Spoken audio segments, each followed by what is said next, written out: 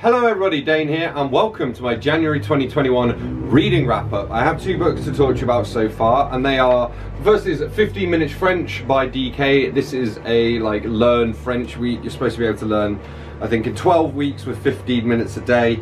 Now has a list of words and exercises and stuff you can do. Uh, the main thing I took away from this was like car part vocabulary, although even then I don't really remember them and I'd have to look them up. But it was a good test for some vocabulary here and there. Overall I give it like 3.5 out of 5. I don't think you would be able to speak very much French if you did 15 minutes a day for 12 weeks with this. But it would give you Alright guys, just the one book to wrap up for you today and that is Soulless by Gail Carriger. I read this as not a buddy read as such, but for a video I'm doing with Susie for our YouTube channel Lord Literature and Madam Media. Basically, we're swapping TBRs, so I read this after she read it and she's currently reading Jurassic Park, which will be my next read. Overall, I thought it was alright. I gave it like 3.5 out of 5. There were some problems. Like, one was being really pedantic, but she said evolution had designed a sound to be terrifying or whatever, which requires a fundamental misunderstanding of what evolution is. She also did quite a lot of head hopping. So, like, Alexia Tarabotti, the main character, would be like, oh, I wonder what, what's his name, Lord Maccon is uh, thinking. And then you just jump straight into Lord Maccon's head and see what he's thinking. And I'm like, one, that's really jarring. Like, it, it, to be fair, I used to do it in my writing as well, but then my editor called me out on it once, and now I see it everywhere, and it does my head in. Um, but also, it would have been better if we didn't immediately see what he was thinking, because then we'd, you know, we'd have that, we'd have something in common with the character. We wouldn't know. We would just be seeing her side of things. But yeah, overall, it was all right. Like 3.5 out of 5. I probably won't be carrying on with the series unless there is some particular reason to, but it wasn't terrible, so that's good. Woo! Hello everybody, uh, just the one book to wrap up for you today and that is Les Experts en Tout by Anouk Ricard. Uh, she is a French author of uh, bandes dessinées which are like graphic novels essentially. This is uh, the experts of everything, Le Guide de Savoir Universel, the guide to know everything. And uh, so we have things on like uh, how to comment être à la mode, which means how to be fashionable, here we go. Aujourd'hui, comment être à la mode? And she says, de chez nous, which means at our place, or to our place. Uh, so yeah, kind of a lot of fun, quite satirical, great place to like learn French as an adult, I would say. You could enjoy these as kids or as an adult, um, and so that for me makes makes makes it definitely worth recommending. So I gave this a four out of five. Okay, this is uh, Rapper. Alright guys, just the one book to update for you today and that is Jurassic Park by Michael Crichton. Um, I, I, read this with Susie, she was listening to it via audiobook and I read the physical book uh, because we're doing a video for Lord Literature and Madam Media where we swap TBRs and so this happened to be on my sort of TBR and um, she said she'd be up for reading it so we went ahead and did that. I would say in the grand scheme of things it's better than the novel of Jaws by Peter Benchley but not as good as The Rats by James Herbert. It's okay, uh, reasonable thriller. It's kind of dated in a lot of the science bits uh, these days as well. And um, I mean, quite often it felt like there was just loads of dialogue but without much happening so that by the time that the action did kick in towards the end I'd lost a bit of interest. Uh, overall I give it a 3.5 out of 5 and I'd read Crichton again um, but I, I, don't think this was as good as I was expecting it to be. I think um, you know, the movie is kind of iconic, whereas the book I would say is not particularly iconic. In fact, it reminded me a bit of reading Dan Brown, um, so make of that as you will. Good evening people of the internet, I have two books to wrap up for you today. The first of those is Survivor by Chuck Palahniuk. So this is basically about a guy who's like the only survivor or one of the only survivors of this weird death cult and the book begins with him he's hijacked a plane and he's flying it on autopilot until the fuel runs out and he's using the plane's black box to share his message so uh, yeah, I, I did enjoy it. It doesn't really actually focus much on the plane. It kind of looks back at his life and how he became a sort of accidental messiah. Um, he's not the messiah though, he's just a very naughty boy. Overall, inimitable Palahniuk. I gave it a pretty solid, I'll probably give it a 4.5 out of 5. It's pretty strong and uh, I'm looking forward to getting to a bit more of Palahniuk's stuff soon. I think I've read about six of his books now. Oh, and a full review coming soon as well. And then we have Asterix Le Gaulois by R. Goscinny and A. Uderzo, and this is the first of the Asterix bandes dessinées, uh, BDs, so they're like the French equivalent of a graphic novel, and uh, it's all in French. I think I have read this story before, um, but I'm in English, or I might have seen like a TV show adaptation, etc. of it, but um, yeah, it was a lot of fun and improved my French. And I'm gonna have to look up actually, because I used to have all of the Asterix movies downloaded, and I don't know if I ever watched them. Uh, so I'm gonna have a look at that because I think I think I downloaded them in French specifically to improve my French. But yeah, Asterix Le Gaulois. I gave this a five out of five. I really enjoyed it, and I will be reading the rest of the Asterix books soon. Alright, just got two books to update you on. The first of those is A Decent Ride by Irvine Welsh. This is the third book in the Juice Terry Lawson series.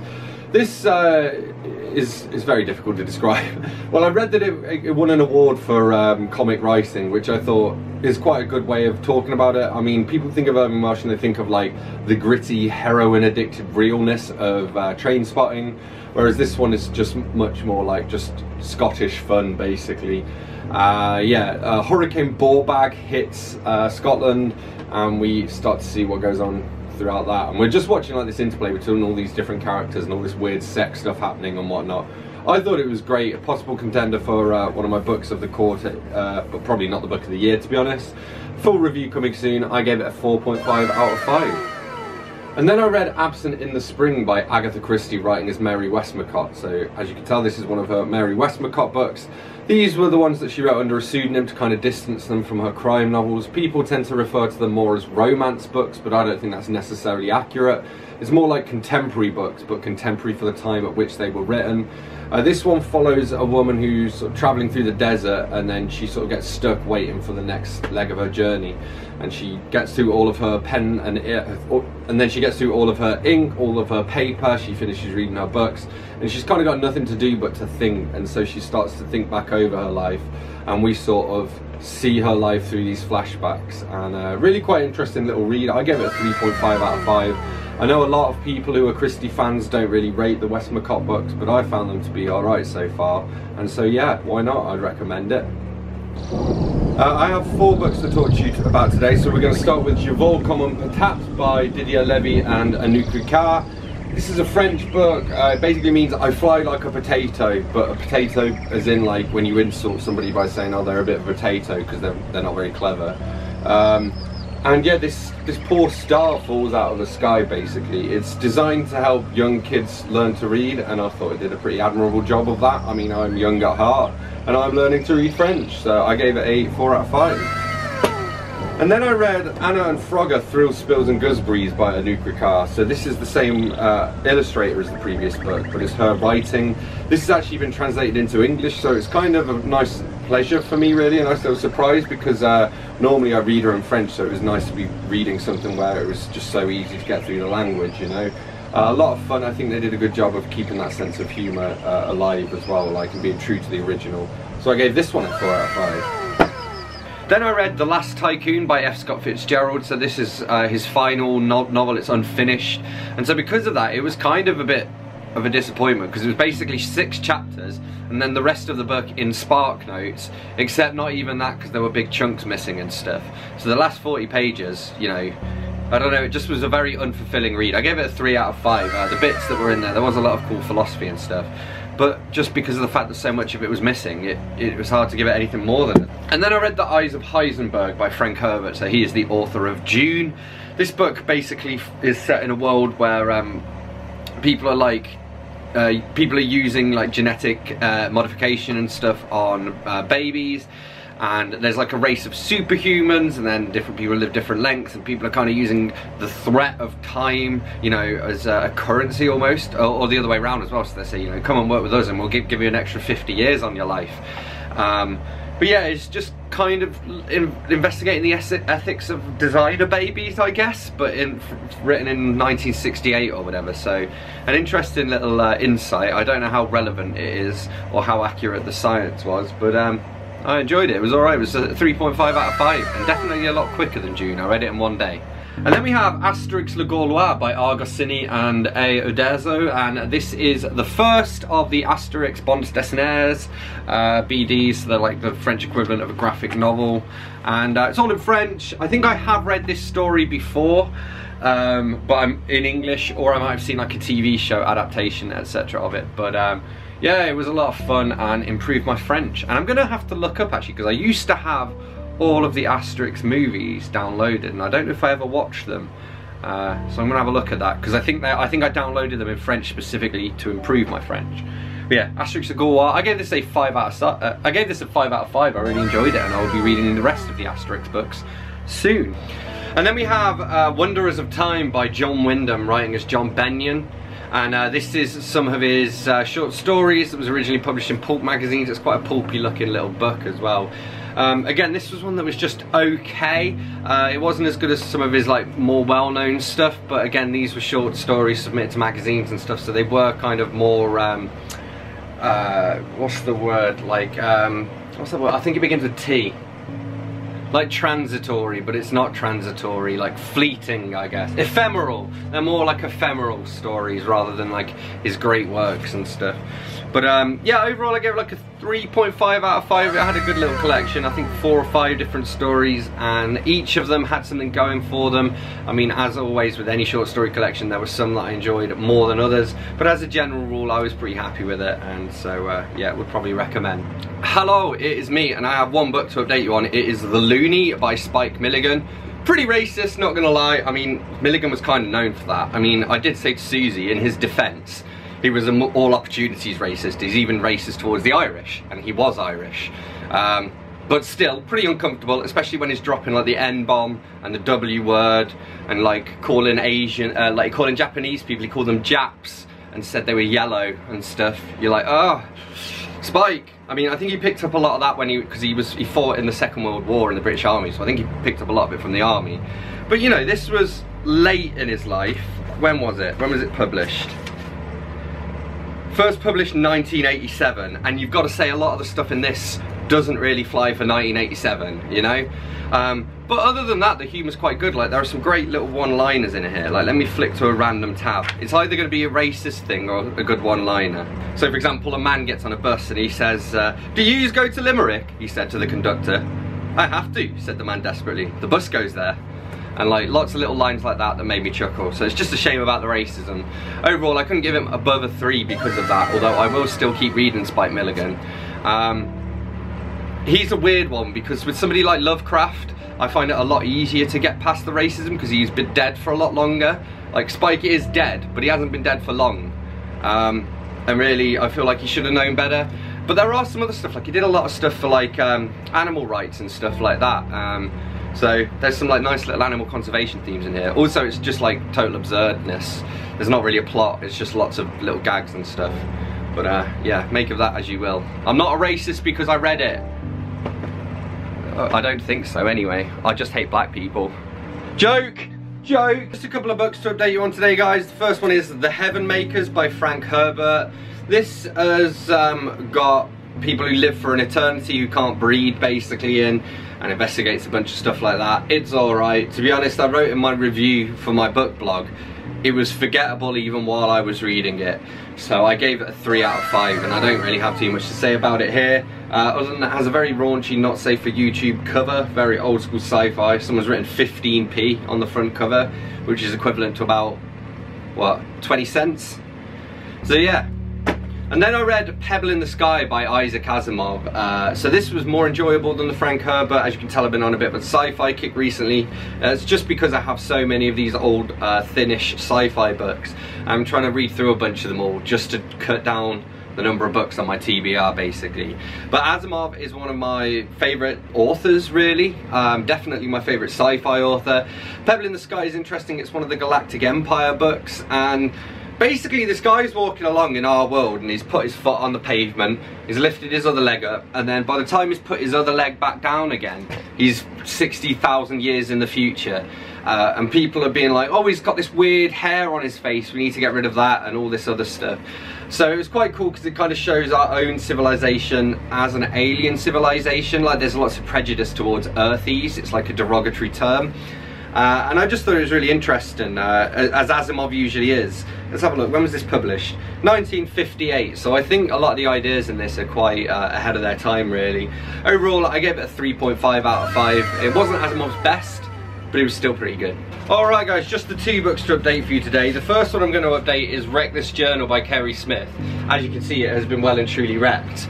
Uh, I didn't do all of the prompts in this, I did a bunch of them, uh, and then one of them was uh, for to get someone to hide it and you had to seek it. So Susie put it in like a plastic bag and put it in the cistern of the toilet, which was a great hiding place, but unfortunately the plastic bag did not work. It's since been dried out and it kind of looks like this, but like pages are falling out, all the sticky tabs fell out so I no longer know which ones I've done and which ones I haven't done. And like some of the prompts are like to lick this page, which I don't really want to do now. To be honest, I didn't really want to do it in the first place. Like, my thoughts on this really, it is good. It's like a good way of getting into journaling.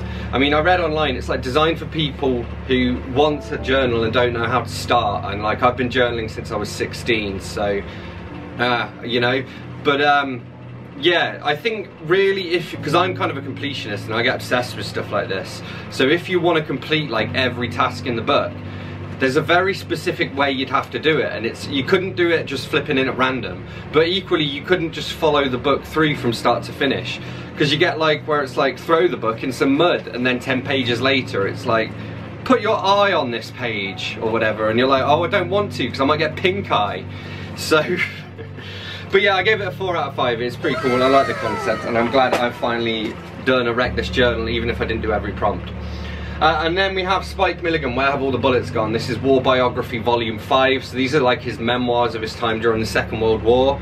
And um, this one really kind of takes place at the end of the war, so um, it's more following him and his mates around as they go and like entertain people by like he played trumpet and guitar and stuff and like they were in Italy in like 1945, 1946 and stuff. But he talked about Harry Secombe, who I think later became one of his co-writers on The Goon Show, and overall it was quite amusing, quite entertaining. 3.5 out of 5. Not really great if you want to learn about the war and you want to learn what it was like to be a soldier, but um, entertaining, you know?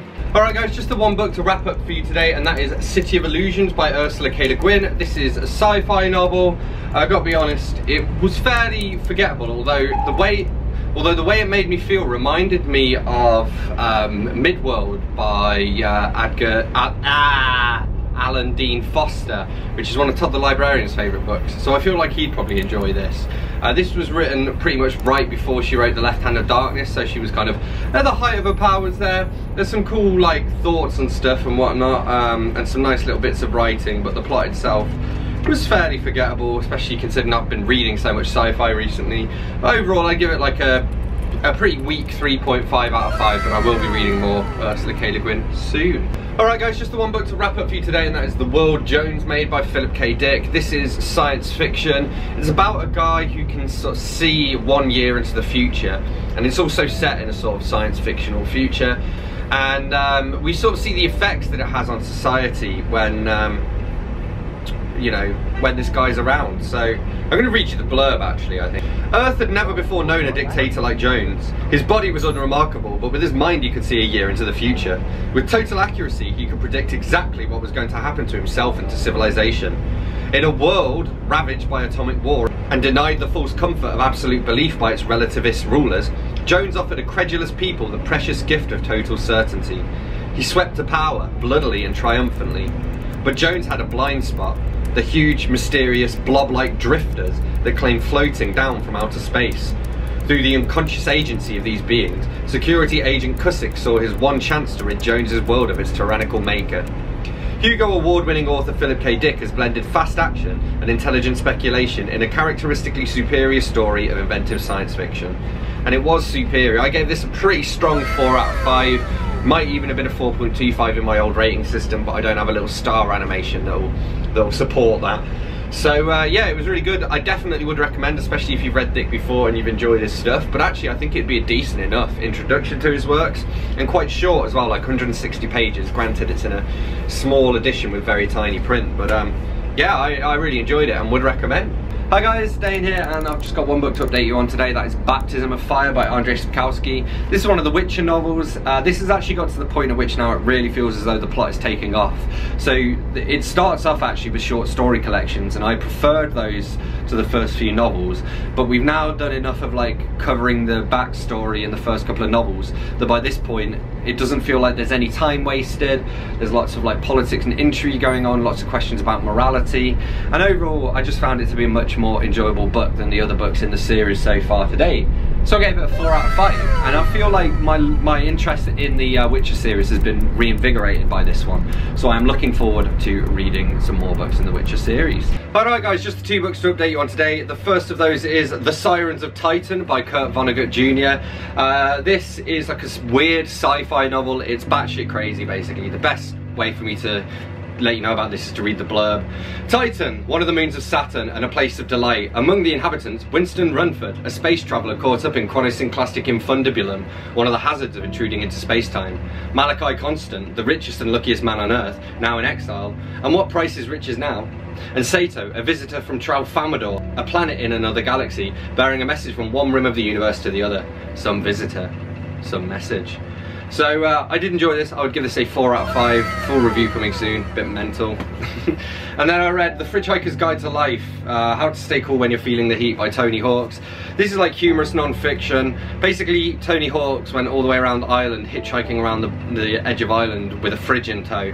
And he wrote a book called Round Ireland with a Fridge and then this is like I guess a companion to that featuring like the life advice that he learned from it but it does kind of just feel derivative of the original book however I did enjoy the original book Round Ireland with a Fridge is probably a 5 out of 5 this one for me is a 4 out of 5 but enjoyable and a quick little read and those are all the books I read in January 2021. So as always, thanks a lot for watching. Don't forget to let me know in the comments if you've read any of these books and if so, what you thought of them. Hit that like button if you've enjoyed this video. Hit that subscribe button for more and I will see you soon for another books video. Thanks a lot.